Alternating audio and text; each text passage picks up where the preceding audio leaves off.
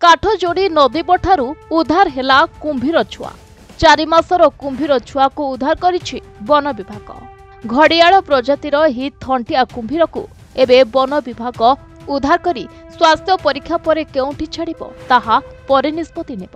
ତେବେ Cuttack city forest division କର୍ମଚାରୀ ଓ ନନ୍ଦନକାନନ ବିଶେଷଜ୍ଞଙ୍କ ଉପସ୍ଥିତିରେ ଏହି ଛୁଆ କୁମ୍ଭୀରଟି ଉଦ୍ଧାର ହୋଇଛି। ତେବେ ଏହା ପୂର୍ବରୁ ମଧ୍ୟ ମହାନଦୀ ପଠାରେ ବଉଳା କୁମ୍ଭୀର ଉଦ୍ଧାର ହୋଇଥିଲା।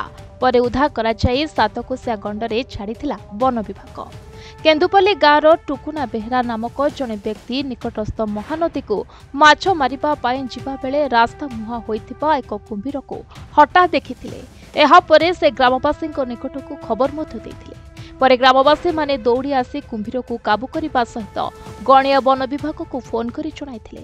ପରେ ବନ ବିଭାଗର ବନପାଳ ବୁବୁଲ ସାହୁ ବନପାଳ ସନ୍ତୋଷ କୁମାର ସାହୁ ସମେତ ସମସ୍ତ ସ୍କ୍ୱାଡ୍ ଉପସ୍ଥିତ ହୋଇଥିଲେ ଏବଂ ଉଦ୍ଧାର କୁମ୍ଭୀରଟିକୁ ବଡ଼ମୂଳସ୍ଥିତ ସାତକୋଶିଆ ଗଣ୍ଡରେ ଛଡ଼ାଯାଇଥିଲା ସକାଳୁ ଖାନ୍ ବାବୁ ଖବର ଦେଲେ। ସେତେବେଳେ ଆମେ ପାଟ୍ରୋଲିଂରେ ଯାଉଥିଲୁ। କାରଣ ଏଇ ଘଡ଼ିଆଳ ପାଇଁ ଆମେ ବେଶୀ ଚିନ୍ତା କରୁଛୁ। କାରଣ ଲୋକମାନଙ୍କୁ ସଚେତନ କରୁଛୁ ସେମାନେ ଭୟଭୀତ ହେଇଯାଉଛନ୍ତି। କାରଣ ଘଡ଼ିଆଳ କେବେ କାହାର ମଣିଷର କ୍ଷତି କରେ ନାହିଁ। ସିଏ ମାଛ ପାଣି ଭିତରେ ଅଲଗା ଜୀବଜନ୍ତୁ ଖାଇକି ବଞ୍ଚେ। କାହାକୁ ସିଏ ଆଟାକ୍ କରେନି। କିନ୍ତୁ ଲୋକମାନେ ବୁଝୁନାହାନ୍ତି ଭୟଭୀତ ହେଇଯାଉଛନ୍ତି।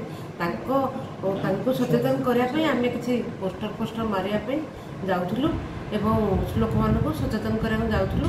ହଠାତ୍ ଆମର ଖାନ୍ ବାବୁ ଫୋନ୍ କଲେ ନନ୍ଦନକାନନ ରିସର୍ଚ୍ଚର ଯେ ଯେ ଏମିତି ଗୋଟେ ଛୁଆଟେ ଚାରି ମାସର ଛୁଆଟେ ଜୟନ୍ତ ଧରିକି ଆପଣ ଆସନ୍ତୁ।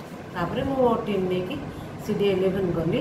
ଖାନ୍ ବାବୁଙ୍କ ସହିତ ସାକ୍ଷାତ କଲି ତେଣୁ ଆଣିକି ତାକୁ ରେସ୍କ୍ୟୁ କରିକି ଏବେ ଆସିକି ପହଞ୍ଚିଲି ରେଞ୍ଜ ଅଫିସରେ ତାକୁ ମେଜରମେଣ୍ଟ ନେଇକି ବର୍ତ୍ତମାନ ଚିଠି ହେଲା ମେଡ଼ିକାଲ ଟ୍ରିଟମେଣ୍ଟ କରିସାରିବା ପରେ ଆମେ ଡିସାଇଡ଼୍ କରିବୁ କେଉଁଠିକି ଛାଡ଼ିବୁ। ସେଟା ଡିଏଫ୍ଓ ସାର୍ କହିପାରିବେ? କାରଣ ଆମେ ନନ୍ଦନକାନନ ଛାଡ଼ିବା କି ସାତକୋଶିଆ ପଠାଇବା? କ'ଣ କରିବା? ସେଇଟା ସେ ଡିସିସନ୍ ନେଲା ପରେ ଆମେ ଯାହା ପ୍ରୋଗ୍ରେସ୍ କରିବୁ ଆଉ। ଲମ୍ବା କେତେ ରହିଛି ତାର ଆନୁମାନିକ ଦୁଇ ଫୁଟ ସ୍ୱାସ୍ଥ୍ୟ ଅବସ୍ଥା ବର୍ତ୍ତମାନ କେମିତି? ବହୁତ ଭଲ ଅଛି। କଟକରୁ ସିଦ୍ଧେଶ୍ୱର ରାଉଳଙ୍କ ରିପୋର୍ଟ ପ୍ରତିଦିନ ଟିଭି